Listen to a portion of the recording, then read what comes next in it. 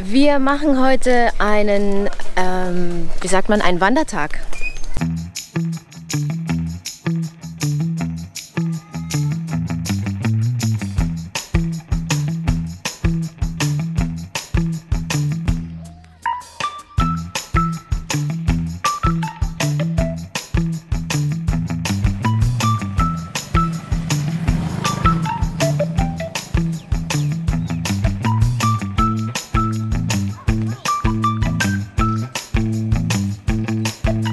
Jetzt ist Wintersaison hier in Mayapur und ähm, das heißt, es ist vorhin schon gesagt, es ist so ungefähr Wetter wie Mai in Deutschland.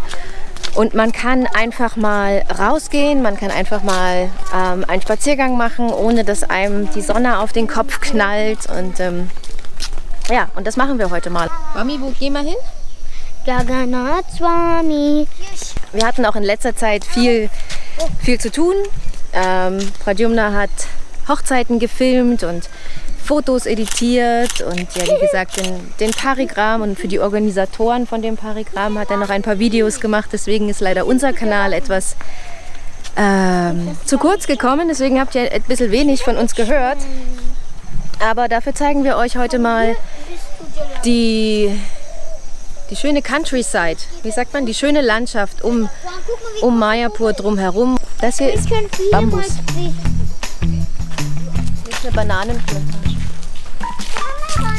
Da hinten kommt der Senf. Oder hier vorne auch. In Deutschland gibt es die gelben Rapsfelder und hier gibt es die gelben Senffelder. Und da ist schon lang die Ja, lang. Oh, oh, es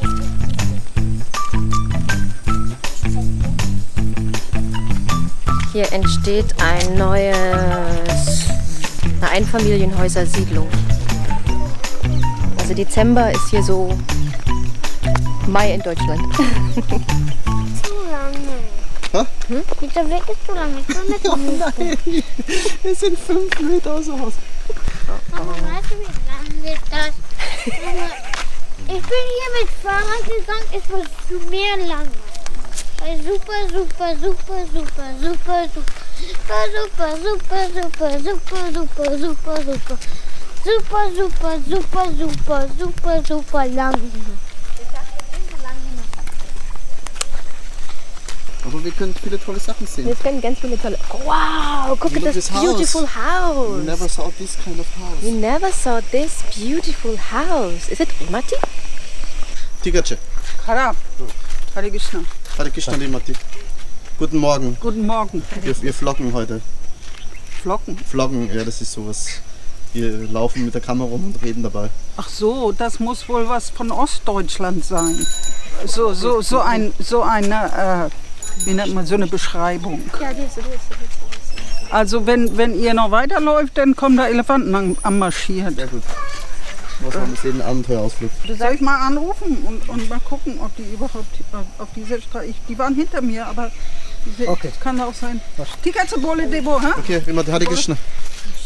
Ja, warte mal. Ich Ach so. kann doch da mal anrufen und Ach dann so. Den mal rausfinden, ob die eventuell hier geladen Okay, die sind woanders hin marschiert.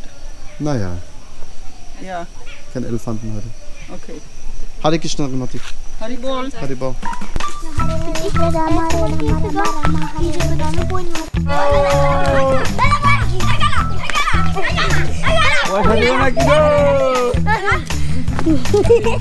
Wir gehen hier so an kleinen Bauernhöfen vorbei und es ist noch ganz ursprünglich. Jeder Bauernhof hat so ähm, zwei bis drei eigene Kühe, die dann ganz viel zum Lebensunterhalt beitragen. Also hier wird zum Beispiel der ganze Kudung getrocknet. Dieser Kudung wird benutzt zum Feuer machen, zum Heizen.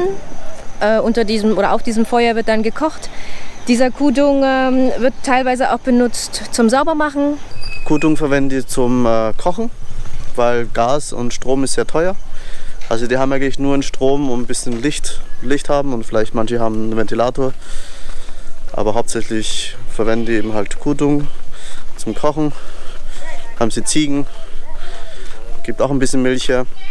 Aber klar, viele sind halt auch Moslems, die essen dann halt auch äh, halt Eier und schlachten ab und zu auch mal eine Ziege, leider. Äh, jetzt müssen wir mal gucken, wo wir hinlaufen müssen. Weißt du welchen Weg? Achso, Ja, du warst mit nicht so Gurukul. weit. Warst du mal mit Gurukul hier? Ja, nicht so weit. Jetzt immer weiter, dann ich bin mit die Gurkel-Jungs gegangen. Bist halt mir mit, jemand mit dem Fahrrad lang gefahren, oder? Mit Gurukul? Ja, aber nicht so weit. Nicht so weit. Okay, vielleicht fragen wir mal, oder? Könntest du auch so leben, so das? Also manche Höfe sehen sehr, sehr schön aus. Ganz gepflegt, ganz ordentlich, ganz sauber. Ähm, ja, ich weiß nicht. Also kommt drauf an, wie wie es sich dann so lebt. Ich sehe es ja immer nur von außen. ich weiß nicht, ähm, ob, die, ob die auf einer dünnen Matratze schlafen oder ob die. Je, jeden Tag auf Kudung kochen. Oh, das wäre schon gut. Kudung, Kudung kochen. Das wäre schon nice. Jeden Tag ein Feuerchen machen, Auf Kudung kochen. auf Kudung kochen. Das wäre Seinen eigenen Gemüsegarten haben. Ja. Aber halt, ich meine, wie gesagt, ohne Strom, das heißt halt kein Kühlschrank. Ja, ich meine, die meisten haben ja Strom, ne? Man muss ja vielleicht nicht gleich auf alles verzichten, oder? Einfach ein bisschen einfacher leben. Du willst filmen?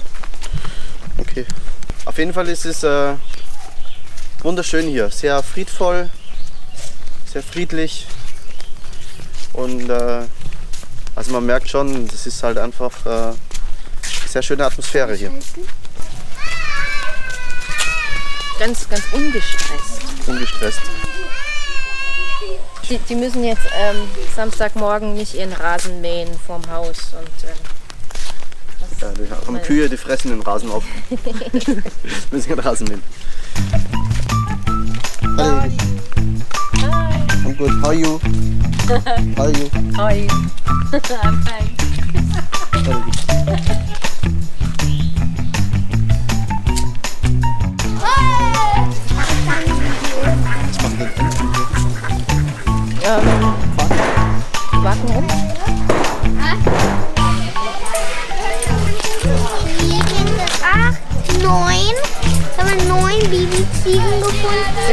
Mal deine Haare schneiden lassen? Barber. Ich äh, hab keine Haare. Ich könnte mich rasieren. Soll ich mich rasieren lassen hier? Hier ist ein Tischler. Ja, man könnte denken, dass die Leute arm sind. Also von unserem Standard her sind sie das auch. Arm in dem Sinn, dass sie sich nicht so viel leisten können. Äh, aber sie haben alles, was sie brauchen im Leben eigentlich. Ich meine, hier auf jeden Fall natürlich Indien gibt es natürlich so ein viel Leid auch und äh, viel Armut und Leute, denen es auch schlecht geht. Also das will ich jetzt auch nicht, das soll man natürlich auch nicht sagen, dass sowas nicht gibt. Aber was man auch sehen kann, ist, dass wenn Leute hier so einfach leben und äh, dass denen auch gut geht. Das, sie sehen alle glücklich aus, sind alle relaxed, sind alle friedvoll, sind, äh, sehen ausgeglichen aus, haben immer ein Lachen immer, wenn man vorbeiläuft. Und ich denke, die haben ein sehr schönes soziales Leben auch miteinander. Und äh, ich denke, teilweise geht es denen mental besser als den Leuten im Westen.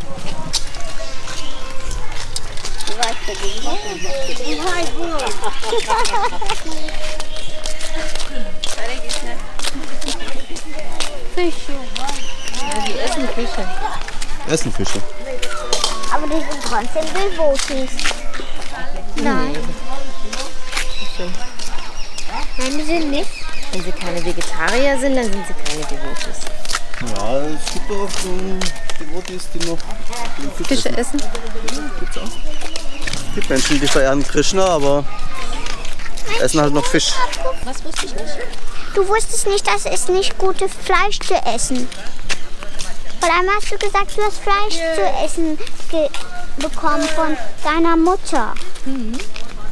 Krishna lebt auch auf dem Dorf. Ne? Das ist eigentlich die, die Lebensweise. Wir denken immer, okay, wir müssen uns irgendwie, wir müssen uns irgendwie fortbilden. Äh, wie, wie heißt es? Fortschritt. Wir brauchen Fortschritt. Das. Wir brauchen Fortschritt und wir brauchen Technologie. Aber das Allerhöchste ist auch nicht Krishna in einem Palast, sondern ähm, Krishna in einem Dorf, in einem Kuhhirtendorf. Und ich denke, da, da, da steckt auch so eine versteckte, so ein verstecktes Glück drin. Wir sind es halt einfach so gewohnt, für uns isoliert zu wohnen. Und ähm, Beziehungen aufbauen mit anderen Menschen ist was ganz, also merke ich auch, ist was ganz ähm, Schwieriges für mich. Das braucht Zeit und das braucht. Ähm, Andere Seite. Müssen wir hier laufen? Hier ist die Abkürzung, glaube ich. ist das wirklich eine Abkürzung? Ja, das Bist du sicher? I know. Jagannath Mandir? Jagannath Mandir? Hier?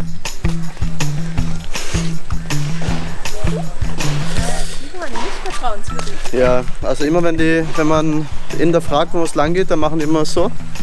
Das kann vieles heißen, alles. Kann Ja heißen, es kann Nein heißen, kann heißen, ist mir gerade egal. Aber ich kenne diesen äh, Weg. Wir sind damals auch mal lang gefahren, glaube ich.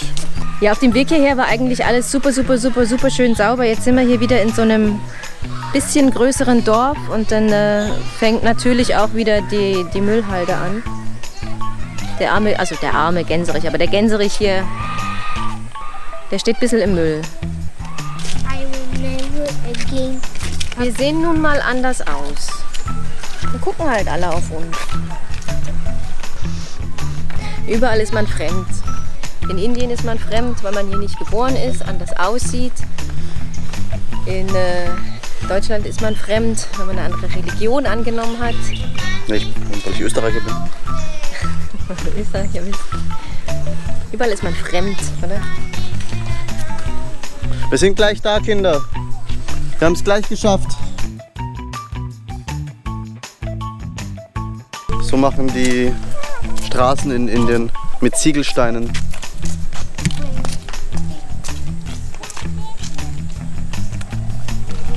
Die klopfen, auf, äh, klopfen uns Ziegelsteine kaputt und äh, machen dann feinen Staub drüber und walzen das vielleicht nochmal. Dann haben wir im Weg. Müssen nochmal zurücklaufen. Äh, nein, nicht nochmal. Hey, aber Kinder, ihr wart super toll. Wir sind super stolz auf euch. Wir sind jetzt mindestens, waren wir eine Stunde unterwegs? Anderthalb. Eineinhalb Stunden. Um 18 Mal los. Echt? 11.30 Uhr. Vielen Dank, dass ihr diesen, Sonntags, diesen Sonntagsspaziergang mit mir gemacht habt. Dankeschön. Achso, achso, redest du mit den Zuschauern oder mit uns? Nee, mit euch. Achso. Na, schön, dass ihr mit wart. Es ist ja nicht so einfach, meine Familie zu einem Spaziergang zu äh, überreden. Echt? Manche. Wegen den Kindern. Die wollen nie, nie laufen. Immer alles noch mit, nur mit dem Moped fahren. Okay, jetzt sind wir beim Jagannath Tempel. Hurra! Jetzt gibt's Frühstück. Ich hätte gerne eine Kokosnuss, eine Malai. Oh, ja.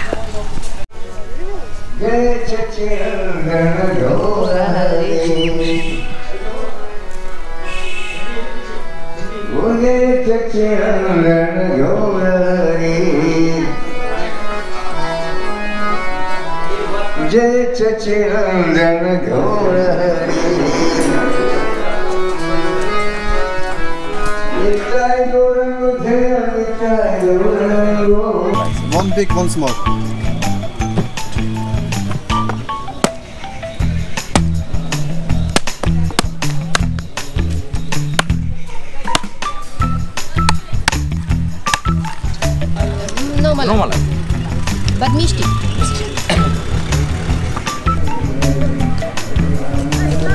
Boah, lecker. Willst du mal trinken, Mami? Bisschen?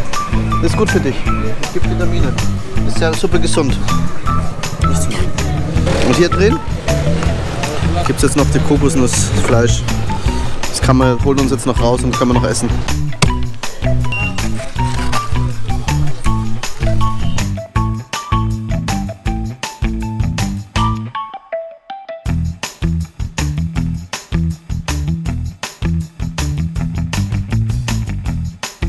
Jetzt laufen wir nicht mehr zurück, oder wie? Müde. Wie war der, wie war der Spaziergang, Wamana? Nee, super gut.